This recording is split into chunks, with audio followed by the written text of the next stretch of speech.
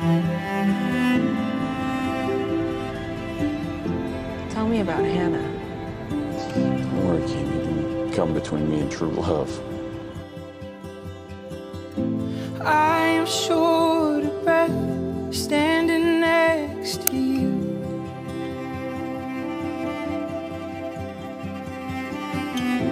I am You don't want to tell out me of my really depth. going on. I'm okay with it. But don't insult me by saying you're good with it.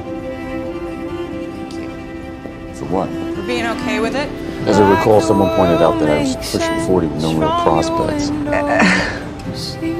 You make it sound like I said you were a loser.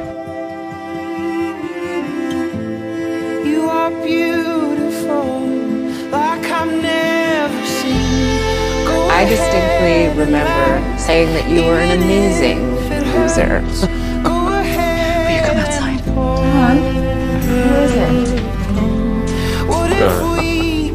I saw the way she looked at you. I mean, clearly she saw the amazing part. and just Well, I appreciate you saying. let us cave in.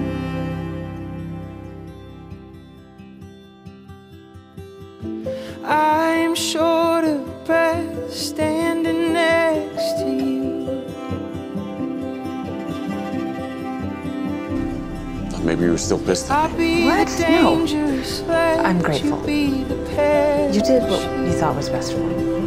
I'm grateful for that.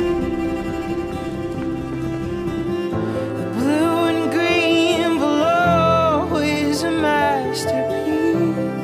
The truth always comes out, and someone always gets hurt. But you are beautiful, like I've